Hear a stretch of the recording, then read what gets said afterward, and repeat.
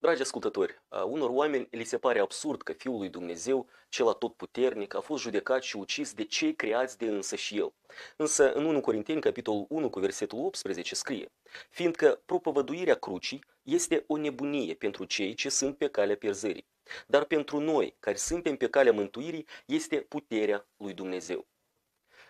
Așadar, acest plan de nebunie, cum spune lumea, a lui Dumnezeu este mult mai înțelept decât orice plan omenesc, iar slăbiciunea lui Dumnezeu este mult mai puternică decât puterea omenească. Ceea ce spune și 1 Corinteni, capitolul 1 cu versetul 25. Căci nebunia lui Dumnezeu este mai înțeleaptă decât oamenii și slăbiciunea lui Dumnezeu este mai tare decât oamenii. Dumnezeu a ținut în ascuns această taină a lui Isus Hristos și răstignirea lui, pentru că dacă vrăjmașul, satana și diavolul ar fi știut despre aceasta, atunci ar fi împiedicat mântuirea omenirii. Diavolul nu l-ar fi ucis niciodată pe Isus pe cruce dacă ar fi știut că Dumnezeu a pregătit această cale această cale pentru mântuirea întregii omeniri prin cruce, pentru a-i răscumpăra pe oameni de păcat și a-i salva de la moarte și de asemenea pentru a recâștiga puterea pe care Adam a transmis-o diavolului. În 1 Corinteni, capitolul 2, cu versetele 7 și 8, scrie Noi propovăduim înțelepciunea lui Dumnezeu, cea tainică, ținută ascunsă, pe care o rânduise Dumnezeu spre slava noastră mai înainte de veci și pe care n-a cunoscut-o niciunul din fruntașii veacului acestuia. Căci dacă ar fi cunoscut-o, n-ar fi răstignit pe Domnul Slavii. Vrăjmașul satana nu știa despre această providență înțeleaptă a lui Dumnezeu și le-a permis oamenilor să-L omoare pe Isus. Însă, cu toate acestea, omorârea lui Isus, care este fără păcat, a contrazis complet, a încălcat legea lumii spirituale, care spune că moartea este plata anume pentru păcat. Doar un păcătos poate muri. Nu-i păcat, nu-i moarte. Iisus nu a avut nici păcatul originar moștenit, pentru că el a fost conceput de Duhul Sfânt și nici n-a săvârșit propriile păcate, pentru că a trăit după poruncile lui Dumnezeu. El era sfânt, fără păcat. Aceasta înseamnă că nu a existat niciun motiv de condamnare a lui Isus la moarte.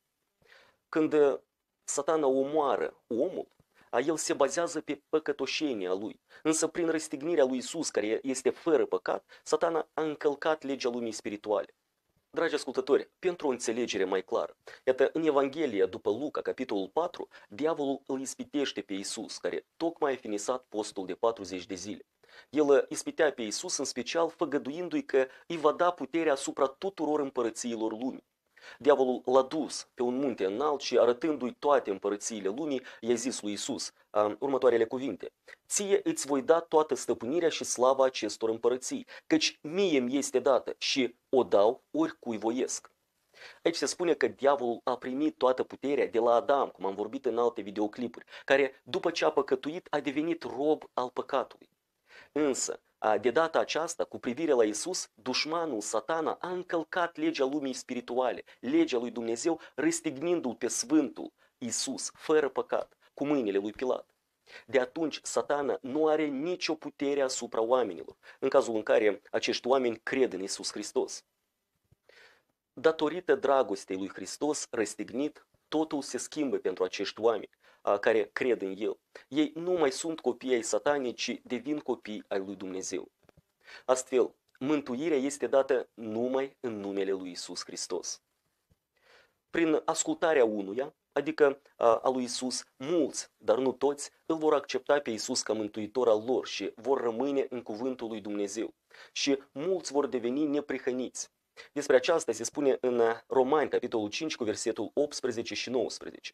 Aici scrie, Astfel, dar, după cum printr-o singură greșeală a venit o sândă care a lovit pe toți oamenii, tot așa, printr-o singură hotărâre de iertare, a venit pentru toți oamenii o hotărâre de neprihănire, care de viață. Căci, după cum prin neascultarea unui singur om cei mulți au fost făcuți păcătoși, tot așa prin ascultarea unui singur om cei mulți vor fi făcuți neprihăniți. Planul de mântuire a fost uimitor de înțelept și uimitor de profund. La început, din cauza păcatului de neascultare săvârșit de Adam și Eva, oamenii, conform legii lumii spirituale, au trebuit să primească plata păcatului, adică moarte. Însă, după 4000 de ani, dușmanul, diavolul și satana au încălcat aceeași lege a lumii spirituale, omorând om fără păcat.